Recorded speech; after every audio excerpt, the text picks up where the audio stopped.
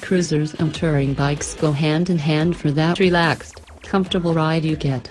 The Boulevard C90T from Suzuki, absent for 2014, but back in 2015, is the touring version of the C90 that was dropped after the 2013 model year, though the C90 BOSS is still going strong in 2018. Leather look, not real leather, just leather textured. Hard saddlebags and an ample windscreen give the C90T that I'm ready for the road look along with a 1462cc engine and 5-speed transmission.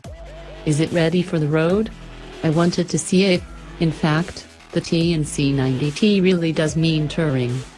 If real leather bags is a must-have, hit the accessories catalog and add $430 to the price.